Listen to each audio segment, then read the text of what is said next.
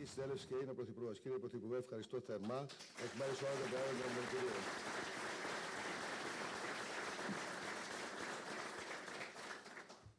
Κύριε Πρωθυπουργέ, η φετινή Γενική Συνέλευση της Κεντρικής Ένωσης Επιμελητηρίων διεξάγεται σε μια κρίσιμη περίοδο για την επιχειρηματικότητα και την ελληνική οικονομία.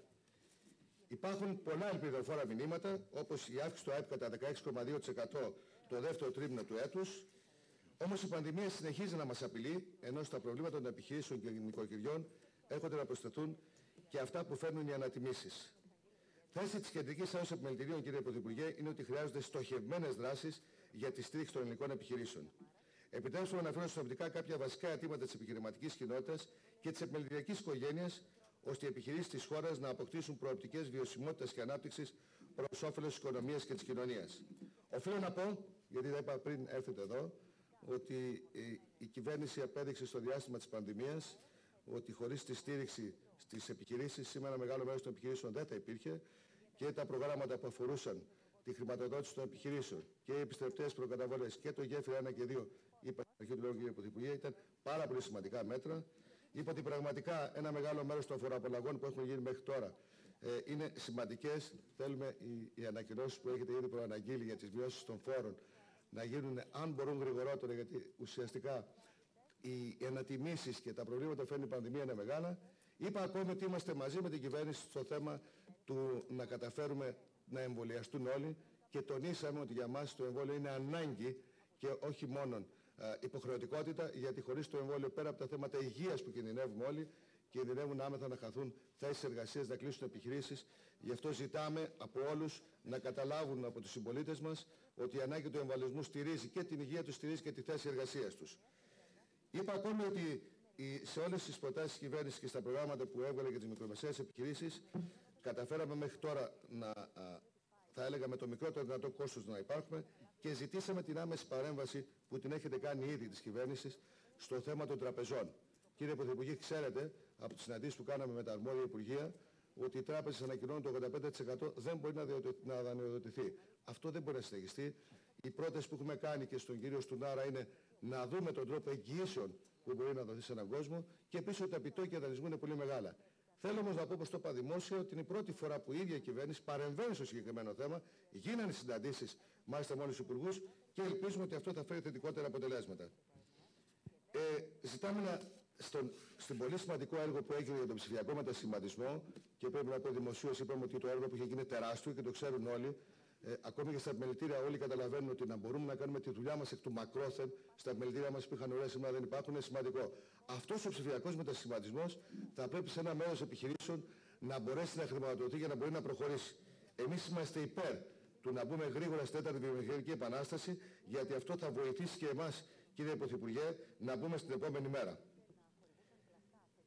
Κύριε Πρωθυπουργέ, περιμένουμε το βράδυ να ακούσουμε και τις παρεμβάσεις της κυβέρνησης, της κυβέρνησης για το, το θέμα των ανατιμήσεων που προέκυψαν από τις αυξήσεις του ρεύματος.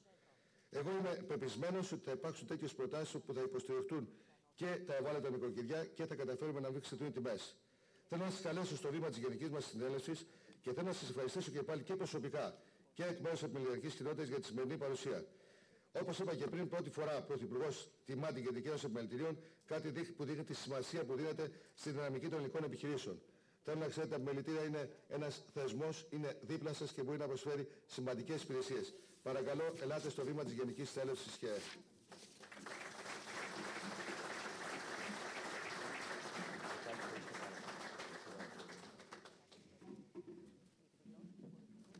Αγαπητέ μου Πρόεδρε, ε, κύριοι Πρόεδροι, Κύριοι Υπουργοί, φίλες και φίλοι, με πολύ μεγάλη χαρά συμμετέχω σήμερα στην Γενική Συνέλευση της Κεντρικής Ένωσης Επιμελητηρίων.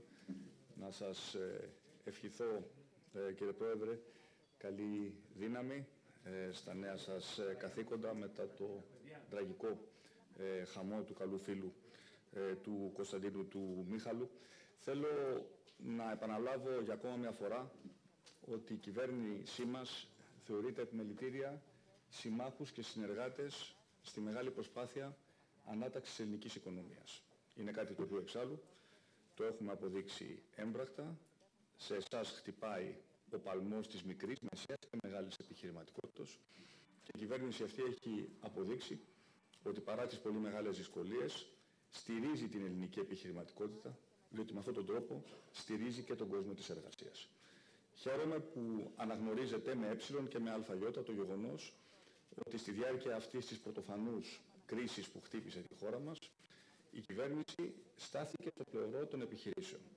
Προστάτευσε τις θέσεις εργασίας και είμαστε σήμερα στην ευχάριστη θέση να μπορούμε να μιλάμε για μείωση και όχι για αύξηση της ενεργείας, αλλά και για αύξηση του συνολικού αριθμού των επιχειρήσεων που δραστηριοποιούνται στη χώρα μας.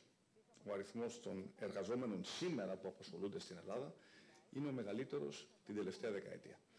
Και αυτό οφείλεται στο γεγονός ότι δεν διστάσαμε μια κεντροδεξιά κυβέρνηση, το γνωρίζει καλά και ο Υπουργός Αναπληρωτής Οικονομικών, ο οποίος βρίσκεται μαζί μας, να δαπανίσει σημαντικότατους πόρους για να θωρακίσουμε τη χώρα απέναντι σε μια πρωτοφανή υγειονομική αλλά και οικονομική κρίση. Δεν θέλω να ε, μακρηγορήσω σήμερα διότι πρέπει να είμαι εξαιρετικά συγκρατημένος γιατί έχω πολλά ενδιαφέροντα πράγματα ε, να σας πω ε, σήμερα το βράδυ. Θέλω απλά να σας μεταφέρω το μήνυμα να έχετε εμπιστοσύνη στην ελληνική κυβέρνηση αλλά και στις προοπτικές της ελληνικής οικονομίας. Ε, η αύξηση του ΑΕΠ στο δεύτερο τρίμηνο ήταν πράγματι θεαματική. Γνωρίζω ότι στην οικονομία και στην κοινωνία και στον κόσμο της επιχειρήσεων, των επιχειρήσεων υπάρχει ακόμα μια σχετική καχυποψία, μια επιφυλακτικότητα. Μπορώ να σας πω όμως με απόλυτη βεβαιότητα ότι βρισκόμαστε στην αρχή ενός μεγάλου, ενός σημαντικού αναπτυξιακού κύκλου για τη χώρα μας. Και η μεγάλη πρόκληση για την κυβέρνηση είναι αυτή η ανάπτυξη να είναι μια ανάπτυξη για όλους και το μέρισμα της ανάπτυξης να είναι ένα μέρισμα το οποίο θα αφορά όλους. Πρωτίστως στην έγνοια.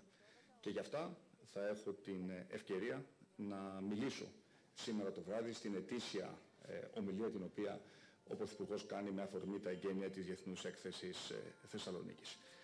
Μια τελευταία παρατήρηση που αφορά το τραπεζικό σύστημα.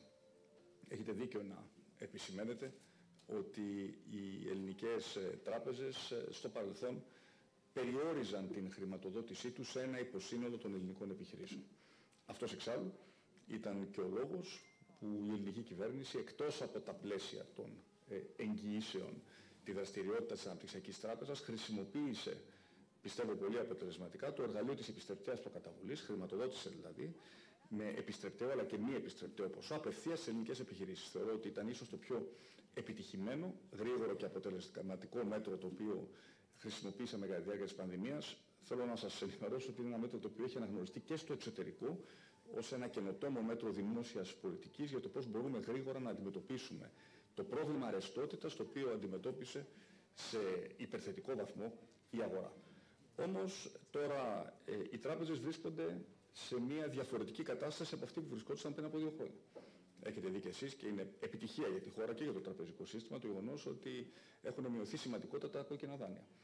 Και αυτό πια μας επιτρέπει να συνομιλήσουμε και με τις τράπεζες με διαφορετικούς όρους και να τις ενθαρρύνουμε να προχωρήσουν πια απαλλαγμένες από την βασική τους υποχρέωση της τελευταίας δεκαετίας που ήταν η αντιμετώπιση των προβληματικών δανείων στον κύριο αντικείμενο της δουλειάς τους που δεν είναι άλλο από τη χορήγηση δανείων ε, για τη χρηματοδότηση της πραγματικής οικονομίας. Και γνωρίζω ότι και το Υπουργείο Ανάπτυξης και το Υπουργείο Οικονομικών σε τακτά χρονικά διαστήματα συνομιλούν με τις τράπεζες ε, ακριβώς για αυτό το σκοπό. Ε, άρα πιστεύω ότι παρά τις δυσκολίες, ε, παρά τα προβλήματα, παρά το άγχος που μπορεί να υπάρχει ακόμα και σήμερα στην ελληνική κοινωνία, καθώς ε, ακόμα ο κορονοϊός ε, δεν ε, έχει αντιμετωπιστεί πλήρως.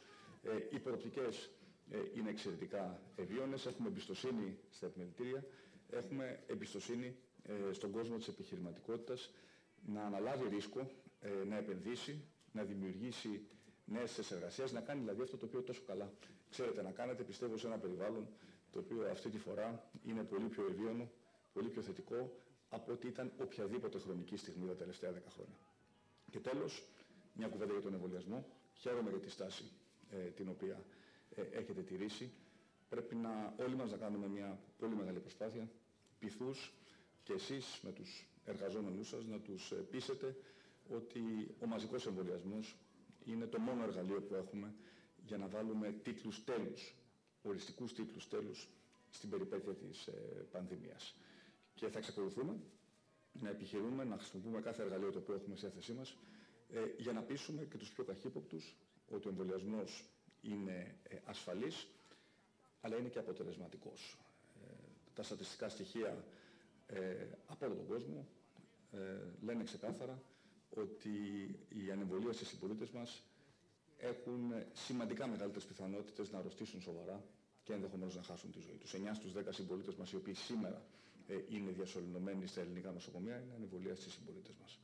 Εμβολιαζόμενοι λοιπόν δεν προστατεύουμε μόνο τους γύρω μας, προστατεύουμε πρώτα και πάνω απ' όλα τον εαυτό μας και χρησιμοποιούμε αυτό το μοναδικό δώρο το οποίο μας έχει προσφέρει ε, η επιστήμη για να προστατεύσουμε τον εαυτό μας πρώτα και πάνω απ' όλα, αλλά και αυτούς που αγαπάμε. Και πάλι θέλω να σας ευχηθώ καλή επιτυχία στην ε, γενική σας ε, συνέλευση και πιστεύω ότι ε, το βράδυ θα, θα ακούσετε ενδιαφέροντα πράγματα. όχι μόνο μια σειρά παρεμβάσεων, αλλά πιστεύω και ένα συνολικό πλαίσιο, μια φιλοσοφία για το πώς η ελληνική κυβέρνηση αντιλαμβάνεται τις μεταρρυθμίσεις, το νέο κύκλο ανάπτυξης ο οποίος ανοίγεται μπροστά μας, που θα το ξαναπώ, θα πρέπει να είναι μια ανάπτυξη με διαφορετικά ποιοτικά χαρακτηριστικά από την ανάπτυξη την οποία είχαμε γνωρίσει στο παρελθόν, με περισσότερες επενδύσεις, περισσότερη εξωστρέφεια, έμφαση στη διπλή πρόκληση της κλιματικής αλλαγής και του ψηφιακού μετασχηματισμού και είμαι σίγουρος ότι σε αυτή τη μεγάλη προσπάθεια οι ελληνικές επιχειρήσεις, μεγάλες, ε, μεσαίες ε, και μικρές, θα είναι αρρωγοί. Σας ευχαριστώ πολύ. Καλή επιτυχία.